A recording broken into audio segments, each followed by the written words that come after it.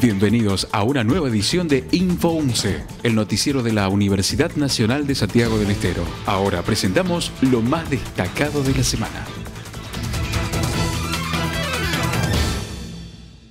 Se realizó una charla debate acerca de la despenalización del consumo de droga, política de drogas y derechos. Estuvo organizado por el movimiento universitario Evita y contó con la participación de la comunidad canábica Córdoba, la Mesa Nacional por la Igualdad y Divas. Instalar en un ámbito, especialmente en el universitario,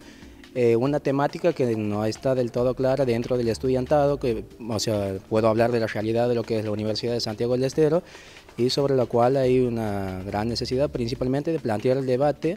para escuchar diferentes voces, de, porque hay una gran desinformación sobre la temática. Bueno, la Mesa Nacional por la Igualdad, eh, mediante la diputada Rashid, hemos presentado un proyecto en el Congreso de la Nación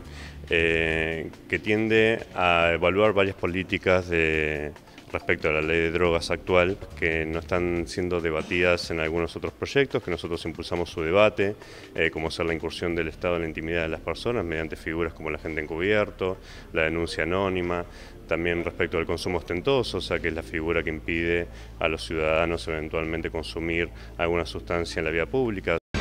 En conmemoración al Día de la Bandera se desarrolló una jornada en el Jardín Botánico de la Facultad de Ciencias Forestales, recordando la labor del general Manuel Belgrano como naturalista y primer ecologista de la patria. Participaron los institutos belgranianos de la ciudad de La Banda y la capital. En la ocasión se realizó la plantación de 200 plantines de especies nativas como tributo al homenajeado. Quedó inaugurada el aula abierta del predio ambiental construida mediante el proyecto de voluntariado universitario denominado Naturaleza para Todos y finalmente se realizó la limpieza del lugar a cargo de las alumnas voluntarias de la universidad.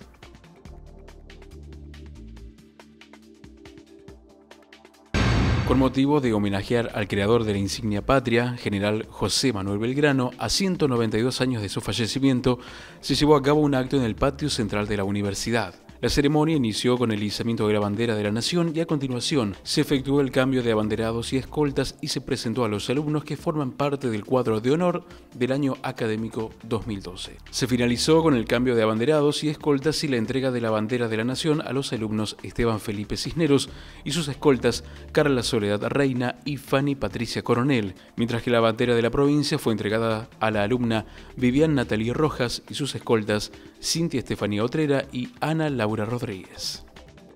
Comenzó el ciclo de jornadas de planes, programas y proyectos organizadas por las cátedras de Planificación Económica Social de la carrera de Sociología y la cátedra de Planificación, Administración y Evaluación de Proyectos de la carrera de Trabajo Social. Las actividades del ciclo comenzaron con una mesa panel titulada La Corporación del Río Dulce desde la visión de sus actores. Este título corresponde a un programa de desarrollo económico y social que se ejecuta en la provincia durante 30 años sin contar con antecedentes de accesibilidad pública. Veíamos con los estudiantes que había una parte de la historia que no la podíamos encontrar y que era este, estos, estos momentos de los 60, 70 en Santiago del Estero y siempre este, hablamos de que la Corporación del Río Dulce fue un, proyecto eh, prototipo, digamos, para la época y creo que para la historia de, Santiago del Estero.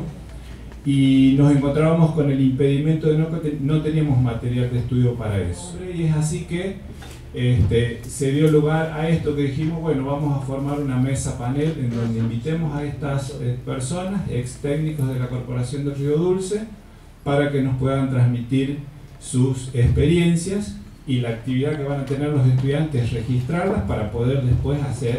este, material de estudio y de insumo para las cátedras.